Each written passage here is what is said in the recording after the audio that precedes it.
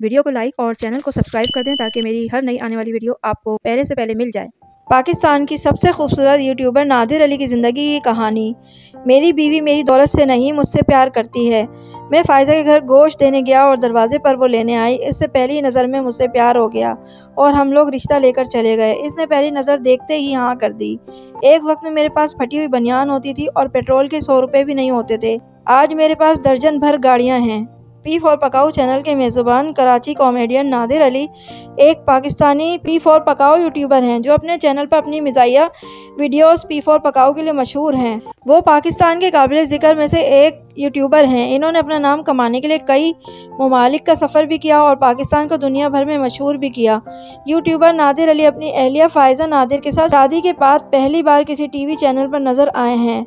नादिर अली ने कहा कि मैंने फ़ायज़ा से पहली बार सोशल मीडिया के ज़रिए बात की तो फ़ायज़ा मेरी प्रैंक वीडियोस दिलचस्पी से देखती थी। इन्होंने कहा कि पाकिस्तान की तारीख में इतना खूबसूरत कॉमेडियन हिट नहीं हुआ। मेरे मदाओं में से नब्बे फ़ीसद लड़के हैं।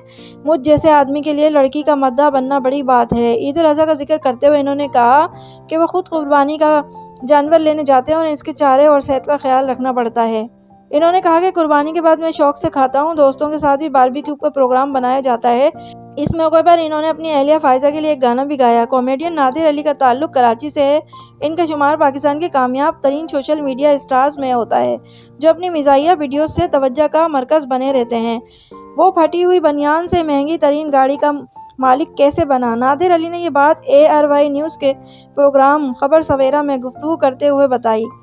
नादिर अली ने कहा कि मैंने अपने कैरियर का आगाज़ इंतहाई मुश्किल माली हालात में किया था और मैं बहुत से मसाइल का सामना करने के बाद आज इस मुकाम तक पहुँचा हूँ। और एक और वाक़ बयान करते हुए नादिर अली ने कहा कि एक वक्त था जब मेरे पास मोटरसाइकिल के लिए पेट्रोल के पैसे भी नहीं होते थे और मुझे घर जाने के लिए सिविक सेंटर से नॉर्थ कराची तक पैदल जाना पड़ता था। इन्होंने कहा यह मेरी ज़िंदगी का एक बहुत अहम मोड़ था। जब मैंने हिम्मत हारे बगैर अपना सफ़र जारी रखा और अगर आप इस पर भरोसा करते हैं तो आप ज़रूर कामयाब होंगे। एक सवाल के जवाब में नादिर अली ने कहा कि मैं इस शोबे में काम करने वालों से कहता हूँ कि अपने मवाद में अपनी सकाफत को फ़रोग दें। कामयाबी के असूल के लिए किसी गलत बात का सहारा ना लें। चाहे लोग मेरी वीडियोस फैमिली में बैठकर देखें और बल्कि देख सकते हैं। वाजह है कि नादिर अली अपने यूट्यूब चैनल पर मजाया वीडियोस जारी करते हैं। यहाँ ये बात काबिल ज़िक्र है कि इनके चैनल को अब तक पैंतीस लाख से ज़्यादा लोग सब्सक्राइब कर चुके हैं।